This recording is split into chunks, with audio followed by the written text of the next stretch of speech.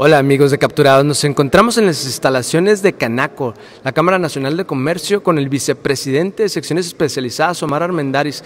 Quiero platicarles que terminamos una reunión con la sección de mm, comunicadores.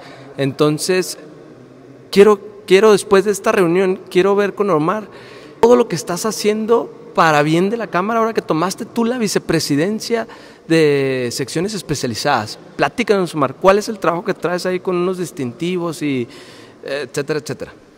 Eh, ¿Qué tal, Manuel? Buenas tardes. Eh, sí, mira, efectivamente estamos trabajando, eh, digo, el presidente de Carlos Fierro tuvo a bien invitarme a su consejo de administración y también recargar la confianza en mí sobre la estructuración de las 33 secciones especializadas que prácticamente es la columna vertebral de la Cámara, ¿no? ¿Qué es esto? Pues lógicamente estamos reestructurando alrededor de, de 33 presidentes de secciones, que esto representa alrededor de 800 empresas en la ciudad. La Cámara se compone por alrededor de 5.000, sin embargo hay de 700 800 empresarios muy activos aquí en la Cámara. Y bueno, pues estamos dándole el apoyo a los presidentes, en este caso tú que eres presidente de, de SPAS, este, ayudándoles a, primero a, estructurar nuestras secciones especializadas con una misión, con una visión, con valores, un reglamento interior y lógicamente un plan de trabajo anual, sí, por dos años, que es lo que están haciendo, que es lo que dura un presidente de, sección especializada. Y bueno, ¿cuál es el resultado? Pues tener socios contentos, eh, agremiados a la Cámara, eh, que cumplan con todas las normatividades de ley para que no sean objetos de sanciones, multas, clausuras, y, lógicamente llevar a la, a la, formalidad más empresas. ¿no? Entonces, eh, esto está para, con un plan de trabajo para finales de año y el primero de enero, pues lógicamente vamos a empezar con una certificación ISO a nivel cámara. ¿Qué es lo que queremos hacer? Ajá, ¿qué es lo que queremos hacer? Pues bueno, certificar a, a cuanta empresa quiera que sea gremiado aquí a Canaco y, y, y buscar una certificación ISO. ¿Qué es esto? Pues lógicamente tener un manual operativo cambiarle chip al empresario y tener un manual operativo y que te lleve a ser una empresa pues exitosa, más que nada, ¿no? O sea, ahorita las grandes empresas, muchos pensamos que nada más las grandes empresas pueden certificarse con ISO y, en realidad es cualquier empresa de cualquier tamaño con el, con el número de colaboradores que quiera. Creo que ahorita en estos momentos tenemos que ser competitivos, ¿sí?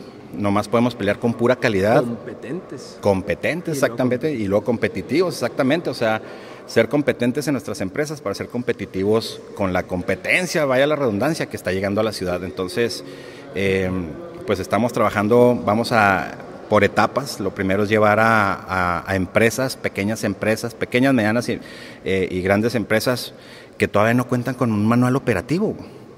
Entonces, pues siguen siendo empresas informales, ¿verdad? Que prácticamente trabajan al día al día. Entonces, eh, va a ser un distintivo que la cámara va a dar y que se va a quedar permanente. Oye, Omar, pero ese es muchísimo trabajo. Digo, si ya dentro de una empresa es mucho trabajo, ¿cómo piensas lograr esto? Llevarlo a varias empresas, o sea, miles. Porque yo ya lo hice en mi empresa y sé que es mucho trabajo, sé que tú lo has hecho en tu empresa y es mucho trabajo. Pero entonces, ¿cómo, cómo planean bajar estos apoyos o, esta forma de, de trabajar para componer que otras empresas más pequeñas empiecen a programar con manuales, protocolos, procesos. ¿Qué, traes en mente, Omar? Pues mira, lo que te decía Manuel, al final de cuentas estoy trabajando con 33 presidentes de secciones, en este caso salones de belleza, spas, médicos dentales, médicos generales, restauranteros, eh, ferreteros, hay una infinidad de secciones especializadas. Pues el apoyo es, cada presidente se va a encargar de formalizar la empresa que quiera. Ahora sí que los vamos a poner a trabajar los presidentes de secciones especializadas. eh, este es una, te digo, el, presidente Carlos Fierro, el presidente de la Cámara, pues está creyendo en la, eh, me está cediendo toda la confianza y pues bueno, es, aquí vamos a tener que empezar a trabajar con cada presidente de sección, que al final de cuentas, pues eh, ellos están, cada gremiado está siguiendo a su presidente, está creyendo en él. Entonces vamos a darles aquí la fuerza, vamos a darles el conocimiento a los presidentes para que ellos apoyen a todos sus agremiados. Entonces yo creo que esto se va a ir bajando. Lógicamente, ¿dónde vamos a empezar? Pues aquí en la Cámara. La Cámara es la primera que, que vamos a empezar a auditar, que ¿verdad? tenemos que poner el ejemplo, ver que exista toda la institucionalización y luego de ahí vamos hacia Ah, abajo. Empezar, empezar a permear, ¿verdad? Así es. Oye, Mar, para toda esta gente que nos está viendo, platícanos, ¿qué beneficios, ahorita nos los explicaste nosotros, qué beneficios de tener eh, certificaciones, de estar trabajando bajo procesos, cuáles son los beneficios que quienes no están en la cámara puedan decir, vamos a la cámara, nos van a apoyar con procesos, eh, etcétera? Los beneficios, pues lógicamente el primer beneficio es tener una empresa sólida. Que la gente tenga la confianza que en el lugar donde esté consumiendo un producto o servicio es de calidad. Porque aquí en el mundo lo único con lo que se compite es calidad, no hay otra cosa. Y nadie va a decir que no tiene calidad. Exactamente. Entonces yo creo que el, el tener un distintivo de calidad o varios, como te decía ahorita, no, no busques nada más uno, vete a buscar todos los que haya en tu ramo. ¿sí? Aunque no exista ahorita un distintivo de calidad que sea para México, pero está uno para Estados Unidos y uno para Europa, hay que ir por él, porque ya estás haciendo cosas diferentes. Entonces eres competitivo, tu empresa es competitiva, es diferente a todas, cumple con las necesidades, con las necesidades del consumidor, que al final de cuentas es por los que vivimos, por nuestros clientes. Y como te digo, o sea, tener una, una, un, un sello distintivo de calidad o una certificación no te exenta, Manuel, de que no cometas errores. Claro. ¿Sí? Porque hay gente, muchas veces de nuestros colaboradores, no saben trabajar en base a manuales, que eso es lo principal. El empresario es lo que debe entender, debe empezar a trabajar sobre manuales y que toda su organización sepa trabajar de acuerdo a esa estructura organizacional que se hizo. Entonces, eh, es en lo que estamos trabajando, ese cambio de chip al empresario, le estamos dando a conocer cuáles son los beneficios, cuáles son las ventajas, cuál es la ganancia, que al final de cuentas lo vamos a ver retribuido en, utilidades. Entonces prácticamente es eso, Manuel, o sea, ser competitivo en el mercado y, y distinguirte más que nada, ¿no? Y como, y como lo decíamos ahorita, permear hacia abajo, pues creo que esto ayudará definitivamente a la economía de Chihuahua, del estado, que tiene sus tropiezos. Ahí he visto yo que no es, la, no es el mejor, no tenemos el mejor servicio en Chihuahua. Este, en servicio al cliente no estamos catalogados entre los mejores en, en, la República Mexicana. Entonces creo que esto ayudaría a que se diera a conocer o, o, o aumentemos nuestro ranking de, de, empezar a darnos a conocer por nuestra calidad en el servicio, ¿no? Digo, cosas como esas y círculos virtuosos donde la economía empieza, empiece a florecer en Chihuahua. Sí, así es. Ahorita como, como les comentaba aquí en la presentación, es, yo creo que muchas veces los primeros que, o los primeros que empezamos e iniciamos con, con la informalidad de nuestras empresas somos nosotros los propios empresarios porque no hemos sabido formalizar, no hemos sabido crear estructura organizacional, no, y si la creamos no sabemos cómo aplicarla dentro de nuestras empresas. Entonces, eh, yo en lo personal y en experiencia, mi socio y yo, digo, es difícil, uh -huh. es difícil. Eh, la, la, estructura organizacional se puede perder en un segundo, ¿verdad? En un, en un segundo, en un proceso y llega el error. Por eso tienes que estar capacitando constantemente a tus empresas, pero la capacitación en una empresa informal nunca no va a servir va, de nada. No va a dar, no va a dar no. los resultados. Entonces, primero tenemos que organizar empresas, estructurarlas, ¿sí? Y luego ahora sí, la, la capacitación va a florecer en resultados. Entonces, eh, para allá vamos, para allá vamos, estamos muy entusiasmados, el presidente está contento, el director de Cámara está contento. Yo creo que a todas las secciones donde hemos estado presentando este proyecto, porque todo mundo tiene que estar en la misma sintonía que, que vamos a empezar a medir y que vamos a, a, a, ver resultados. Y efectivamente, ¿a dónde vamos? Pues a tener una economía local, empresas sólidas. Yo creo que una empresa sólida, con ventas eh, sostenidas, pues lógicamente va, va a crecer. No hay de otra, o sea, aquí no estamos buscando el hilo negro, o sea, aquí lo único que estamos poniendo es administración y estructura a las empresas, que es lo que falta. Entonces, ¿por qué? Porque pues lógicamente estamos también combatiendo una nueva generación de, de, colaboradores, les llamamos los millennials, que yo siempre lo he dicho, este, se están encontrando con un grupo de empresarios muy desorganizados. Entonces nos estamos quedando enanos como empresarios. Y la verdad es que o sea, a mí sí me da un poco de miedo eso. Y, y pues bueno, pues vamos a, a, a, tratar. Nosotros hemos hecho lo propio como empresa. Y pues queremos compartir con todos los agremiados de la Cámara eh, esa experiencia, ese conocimiento que nos ha llevado a, a crecer, ¿no? prácticamente, Manu.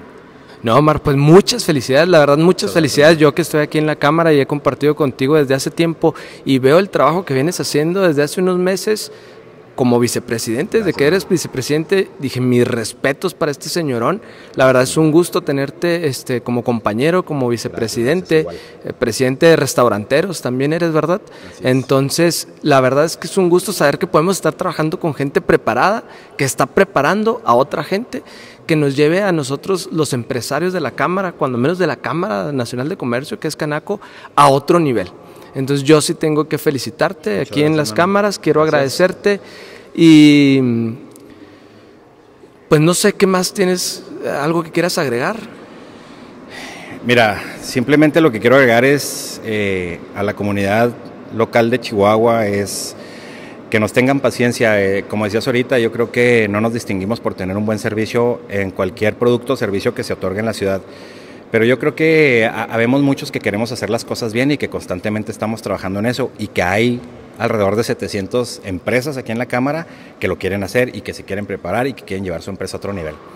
Eh, yo creo que no puedo decir que en el mediano ni en el largo plazo, la verdad es que es un tema que nos estamos poniendo metas, pero yo creo que vamos a empezar a ver resultados eh, tanto en las spas, en los restaurantes, en las ferreterías, en todos lugares, vamos a empezar a ver diferencia, porque eso es la estructura. Cuando tienes estructura, eh, ya, no, ya, no se necesita el empresario, o sea, la gente sabe lo que tiene que hacer, sabe que tiene que dar un buen servicio, sabe que tiene que ser un buen prestador de producto. Entonces, eh, es eso, que nos tengan paciencia, que sepan que estamos trabajando, que queremos llevar eh, el comercio local pues a otro nivel, ¿verdad? Como decían ahorita, va a ser mucho trabajo, sí va a ser mucho trabajo. Como todo, hay resistencia al cambio, va a haber resistencia al cambio. Y es lo que le dije, aquí es el que quiera llevar su empresa, aquí no se va a forzar a nadie. Entonces, pero de que vamos a trabajar, vamos a trabajar y yo creo que vamos a tener muy buenos resultados, Manuel. Yo estoy seguro de que sí. Eh, será cuestión de ir cambiando el chip, como dices tú. La verdad, eh, tú sabes como franquicia, yo que estoy apenas eh, incursionando en esto de las franquicias, y que te digan, no, no, no, no, es que ah, sin el ojo del amo no engorda el caballo, y que tienes que estar ahí, que tienes que hacer esto y tienes que hacer aquello, y no puedes irte, y cómo te das a un curso, y cómo te das a un diplomado, y cómo te vas certificar, de ahí tienes que estar si no vas a quebrar. Y la verdad es que cuando haces procesos, cuando estructuras tu empresa, lo menos que tienes que hacer es estar ahí. Y yo también me topo con proveedores que hay que hablarles y lo, híjoles, que dame chance porque no, he tenido tiempo para hacer la cotización y tengo que revisar esto. Y te, Oye, ¿cómo que no tienes alguien que hace cotización? No, nada más yo hago cotizaciones. ¿Y quién hace el plano? No, nada más yo hago el plano. ¿Y quién hace? No, ah, canijo, ¿y para qué tienes cinco o seis personas y tú haces todo? Exactamente, sí, exactamente. Yo creo que, eh, digo, no es mi caso, ¿verdad? orgullosamente lo puedo decir que no es nuestro caso y tú estás en ese proceso también.